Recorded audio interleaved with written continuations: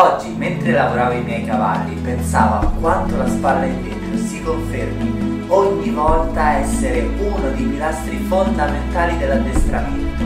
Se anche a te è capitato di montare a cavallo e trovarlo rigido muscolarmente o hai avuto la sensazione che mettesse la groppa all'interno del campo per non impegnare abbastanza i posteriori o semplicemente vuoi migliorare il suo grado di flessibilità e rigione, beh, questo è un esercizio che puoi assolutamente trascurare ed è importante farlo nel migliore dei modi. Per eseguire una corretta spalla in dentro devi assicurarti che gli aiuti siano precisi. Per fare una chiara richiesta al cavallo, infatti, la redine interna porta la flessione verso l'interno e dà la direzione. La redine esterna fissa il contatto e sposta le spalle. La gamba interna dà il ritmo al cavallo e nello stesso tempo lo stimola a flettersi al costato.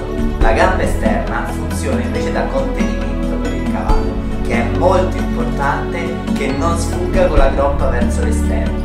L'errore più comune che si tende a fare nella spalla in dentro è chiedere un'eccessiva flessione verso l'interno. Questo generalmente porta a perdite di ritmo e una perdita di efficacia dell'esercizio stesso. Ma come puoi capire se il tuo cavallo è pronto a iniziare il lavoro su due piste con la spalla in dentro? Una delle condizioni fondamentali per introdurre il cavallo a questo esercizio deve essere una chiara tendenza a portarsi in avanti.